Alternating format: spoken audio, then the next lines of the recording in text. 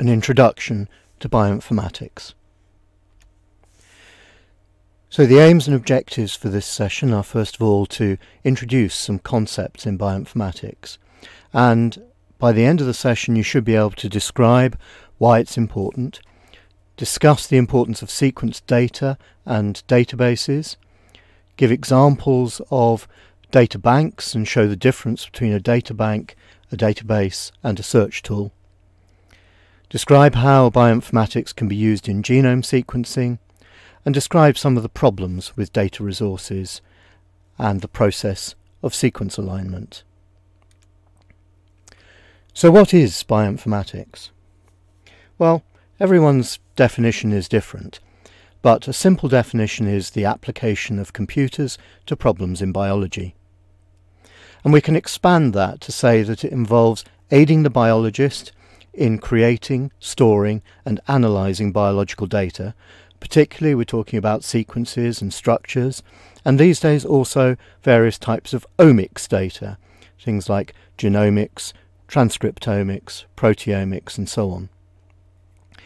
Presenting those data in a way that biologists can make use of and applying uh, analysis to make predictions. So overall, what are we trying to achieve? Well, we have the basic ideas of biology here that DNA sequence encodes protein sequence, that encodes protein structure, that then goes on to perform a function. So what we're trying to do with bioinformatics is understand information about DNA sequences, protein sequences, protein structures, and how that relates to function, and indeed to predict how we get from a DNA sequence to a protein sequence. Of course, that's a simple translation process, but we need to predict which bits are going to be translated. We need to try to predict how we get from a protein sequence to a structure and predict how that influences protein function. And once we understand all those things, we can try to modulate protein function. And that may be the design of drugs which inhibit an enzyme, uh, or it may be design of drugs that are able to reactivate a damaged protein.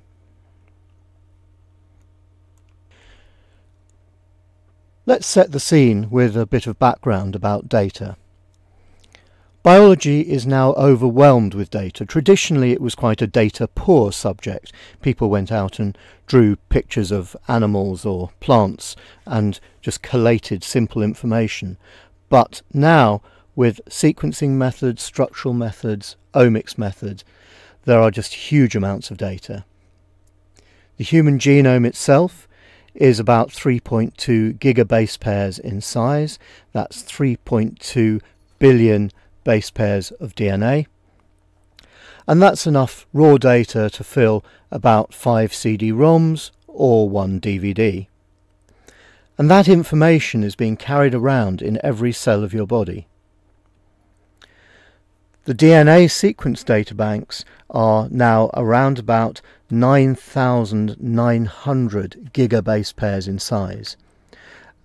So you can see how much that has increased over the last uh, 15 years or so because um, it was originally stated in August of 2005 that the data had passed 100 gigabase pairs.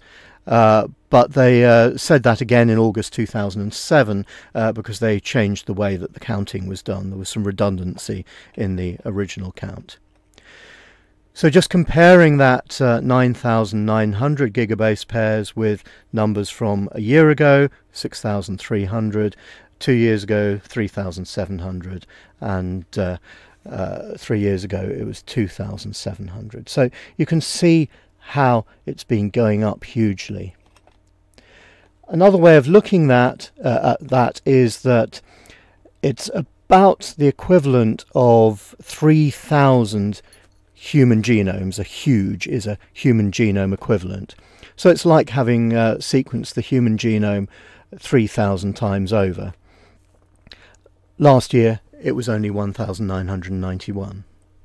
Now, you might think that's a little bit strange because you might have heard of things like the Thousand Genomes Project or the uh, UK 10K project to uh, sequence 10,000 genomes or the ongoing UK 100k project to sequence 100,000 genomes. So if we're sequencing all these genomes, why is there only about uh, 3,000 human, human genome equivalents in the databanks? Well, the answer is when we sequence human genomes, we don't need to store all the information because most of them, uh, most of the DNA is very similar. So we just store the differences between the different genomes. Yet another way to look at the amount of data is that it's about 3,200 years issues of the New York Times. And again, that was just over 2,000 a year ago. So that's just looking at DNA data. Uh, in addition, we have a lot of protein structure data. So uh, about 151,600 protein structures uh, in the databases at the moment, uh, and that was um, about 147,500 a year year ago. So you can see that that is not uh, increasing at the same sort of rate. So from this we can see that DNA data doubles roughly every 18 to 24 months, while the structure data doubles round about every six years or so. Returning to the human genome, as I said, that's about 3.2 gigabase pairs, 3.2 billion base pairs of DNA. That's about 30 times the size of something like C. elegans or Drosophila. However, less than 5%, probably about 2 to 3% of the DNA encodes proteins. And more than 50% of it consists of simple repeated sequences. So that small amount of coding DNA uh, probably codes for something like 20,000 proteins. However, about 35% of those genes have what's called alternative splicing. In other words, one gene can have its exons spliced together in different ways to produce somewhat different proteins. And there are roughly three splice variants on average per gene. So that means that rather than uh, about 20,000 proteins, we're actually able to produce uh, something more like 60,000. Coming back then to the more bioinformatics side of things, uh, a major topic is data storage.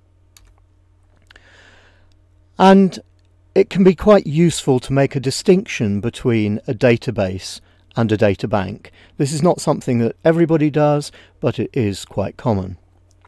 So a database is a structured collection of data which is hidden behind some specific search tool enabling it to be queried.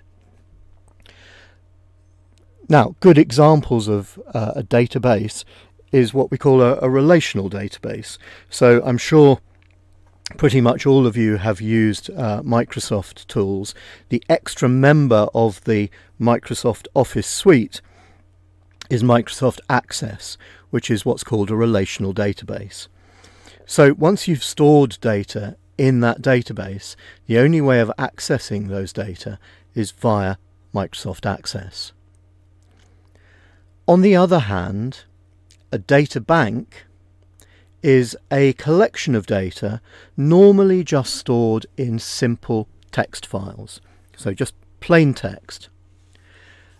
And that means that there's no fixed associated query tool. Instead, you can use different query tools depending what you want to find out.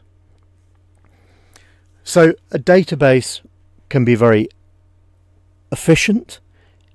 It can also be hidden behind a, a, a web interface, so that's your uh, one way of accessing the data. Whereas a data bank is a resource that you can query in whatever way you wish. Most data for bioinformatics is in the form of a data bank. Uh, and we can divide these into different levels. We have primary data banks. Those are raw data, so things like protein sequences, protein structures, and so on. We can have secondary data banks, which are derived data. So if we're talking about a, a family of proteins, we can look at patterns that are characteristic of that family. Also, secondary databanks generally have things like detailed annotations related to the protein family. Thirdly, we have composite databanks. These are generally non-redundant sets of data that have been derived from pr primary databanks. So people collect data about, for example, protein sequences from different resources and then integrate them and make sure that the same sequence doesn't appear multiple times. And finally, we have what are known as gateways, which are resources, usually on the web, to access data and produce links between different data banks and allow you some form of integrated access across multiple resources. So a few examples then of primary data banks.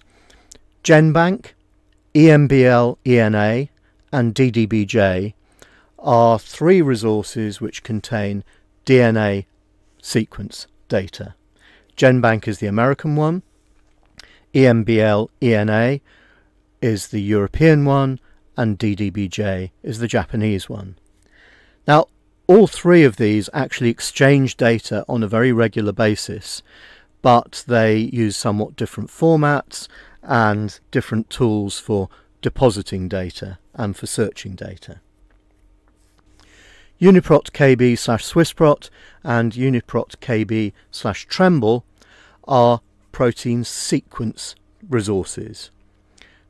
So these are linked together. The Swissprot resource contains very carefully annotated sequences whereas the TrEMBL resource contains automatic translations of DNA data from EMBL ENA. So the characteristic of a primary data bank is that it contains simple sequence data uh, or indeed other ones contain structure data but these examples are all sequence data and that can be DNA or protein uh, in these cases. They may also have what's known as feature information, things like splice sites in DNA, signal sequences in proteins, disulfides, active sites, etc., etc.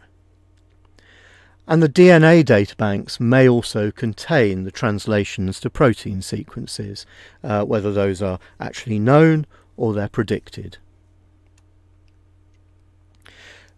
It's important to note then that since the gene prediction methods are imperfect, a protein that's identified purely from genomic data is labelled as hypothetical until it's been verified by experiment.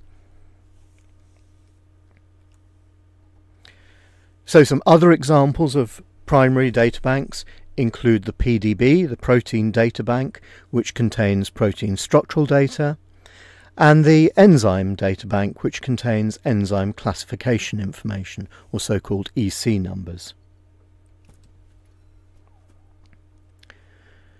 Some examples then of secondary databanks are things like ProSite, Prints, Blocks and Interpro. As I said before, a secondary databank contains derived information and generally has patterns that characterize a protein family as well as detailed annotations. ProSite is the oldest and simplest of these uh, secondary databanks and it contains what we call regular expressions describing patterns of amino acids that occur in proteins. Now these patterns can be divided into two types. The first type describes functional features of proteins whereas the second type describes protein families.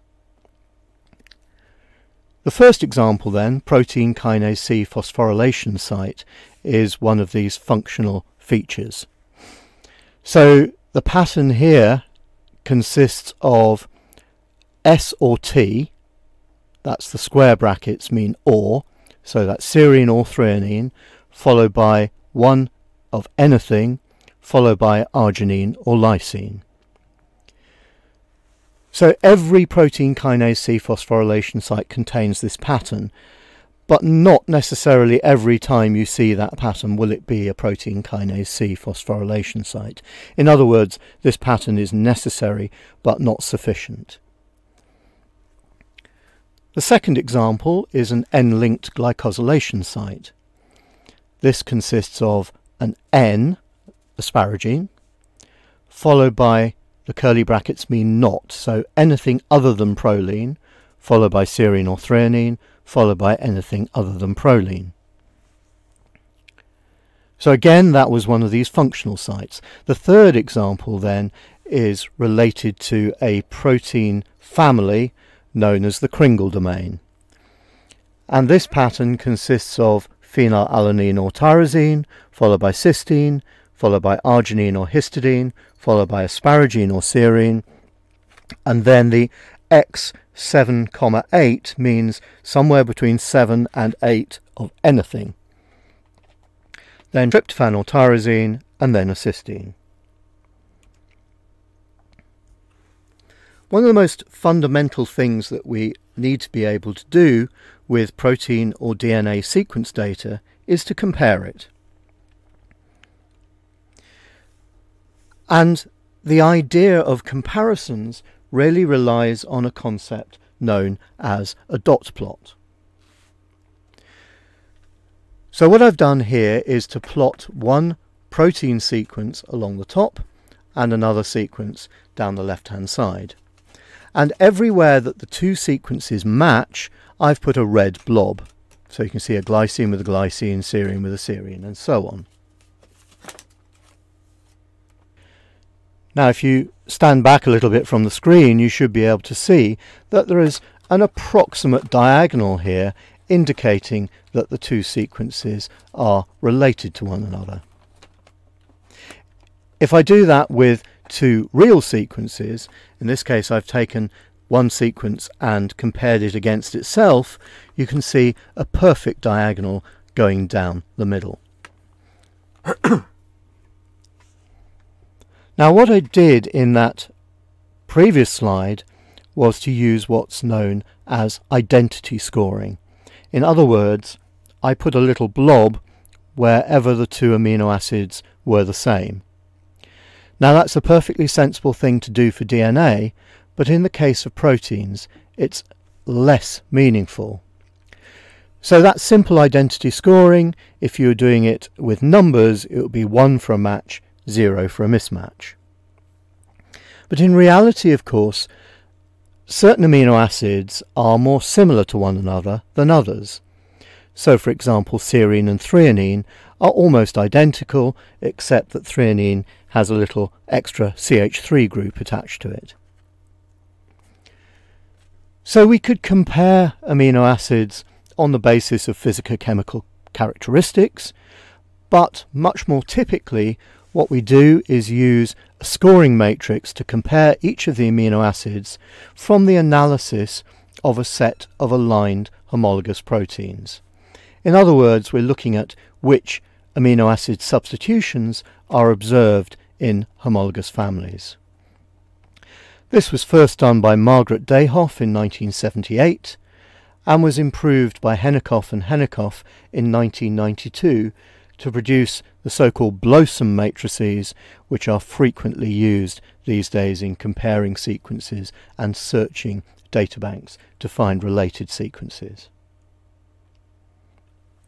So let's go on to look at those two topics of aligning sequences and searching databanks. First of all, what do we mean by an alignment? So here I've taken the same uh, pair of sequences that we looked at in that original dot plot. So by alignment I could mean what we see here, that we've aligned L, D, S and L. Or I could mean what we've shown here, which is to align G, S and L. Or even we could mean this, where we're aligning this S and L. But in reality, what we generally mean is that we insert gaps into one or both sequences to optimize the number of matches. So in this case, we've inserted two gaps into this second sequence so that both the GSL at this end and the DSL at this end are aligned with one another. Now in this particular case, uh, it's not a completely unambiguous alignment because this L here could align with this one or with this one as I've done in the right hand example. And we would need more information uh, from structure or from having a multiple alignment of many other related sequences to know conclu conclusively which of those is correct. Now, how do we get from the dot plot that we saw before to an actual alignment in some sort of automated fashion? Well, we use a technique known as dynamic programming. This was first applied to sequence alignment by two authors, Needleman and Wunsch, in 1970. Now, in fact, Needleman and Wunsch were two medics. They had never published a bioinformatics type paper ever before. They invented this this approach and they published this paper in 1970 and really they've never published anything again since. However, this remains one of the most cited papers in bioinformatics ever. What this does is essentially takes our dot plot or matrix that uh, we saw before and works from one corner to another trying to accumulate scores. It turns out that this method was actually already well known in the computer science field and is used to solve a class of problem known as the travelling salesman problem. So if you imagine you have uh, a salesman who has to go between a set of different cities to sell his product, then what is the optimum path between those cities, taking into account things like uh, distance, speed of the roads, likely traffic, and so on, in order to um, to to be as efficient as possible. It's also used in things like uh, sequencing of traffic lights to optimize traffic flow. Now, what Needleman and Wunsch actually discovered was a process known as global sequence alignment. So if you imagine the green and brown lines are two sequences, it's basically taking the whole of one sequence and the whole of another sequence and introducing gaps such that the whole sequence of in green aligns with the whole sequence in brown. Now it was Smith and Waterman some 11 years later who realised that what Needleman and Wunsch had done was actually this concept of dynamic programming that had been used in computer science previously. And they realised that a simple modification to the method could produce what's known as local sequence alignment. In other words, you take one region from one sequence and align it automatically with a region from another sequence. Now the reason that that is important is because protein sequences and DNA sequences are often split up into domains. So you can consider a domain as being a unit of inheritance. So we can have domain A associated with domain B in one protein and domain A associated with domain C in another protein. Now, if you try to align those using global sequence alignment, then okay, it would get domain A aligned pretty much properly, but it would be trying to align domain B with domain C, and these are completely unrelated, so the alignment would make no sense. On the other hand, with a local sequence alignment, it would automatically align A with A and simply ignore the B with C part. Now, dynamic programming is incredibly useful, but it's slow. And that means with the huge amounts of data that we saw at the beginning of the lecture, it becomes completely impractical to use dynamic programming to search one sequence against all the other sequences to look for homology. So instead what we do is use fast methods known as heuristics. So a heuristic is a method that uh, is guaranteed to get a good result but might not get the very best result. And the way that the two major programs that do this function is to create an index. So these two programs are called FastA and BLAST. Uh, what they do is take the database of sequences and split them up into short words. We take the words from the probe sequence, look them up in the index, and then look for multiple matches and extend to find likely full hits by using a full alignment method. So you can think of that in terms of a normal book. If we had a book uh, in which every word in the book was indexed instead of just certain keywords, and we were looking for a particular sentence, then we could look in the index for each word in our sentence and see which pages it appears on. We then choose the page which has the most hits and then we read that page in detail to try to find the sentence of interest. And of course it wouldn't matter if there were some mismatches, like some of the words were were incorrect in the uh, uh, in the sentence that we were searching with, um, because we would still find the right page, and that detailed reading of the page, like the proper full alignment, would find the actual part that we were looking for.